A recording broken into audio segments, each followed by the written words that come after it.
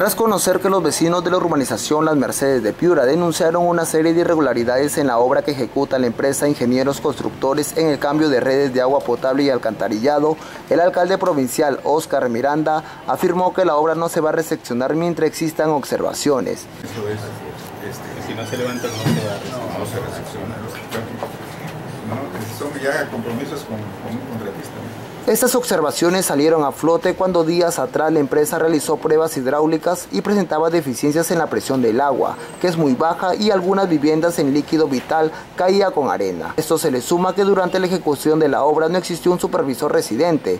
Esto ha generado un retraso, pues se debió entregar el 5 de diciembre del año pasado.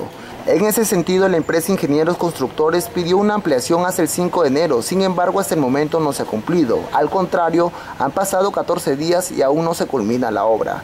Días atrás los dirigentes y funcionarios de la Municipalidad de Piura sostuvieron una reunión donde la empresa se ha comprometido en 10 días a entregar la obra, estableciendo el 22 de enero. No obstante, en un breve recorrido que realizó Piura TV, corroboró que los sardineles y veredas de la urbanización Las Mercedes están en pésimo estado. En pie de lucha, los vecinos de la urbanización Las Mercedes aseguraron que no permitirán que el día viernes se entregue la obra, cuestionando además a la gerencia territorial de Rosario Chumacero por no estar pendiente de la evaluación de la obra es preciso indicar que la obra en el cambio de redes de agua potable y alcantarillado está valorizada en 2.700.000 nuevos soles. Saque usted sus propias conclusiones.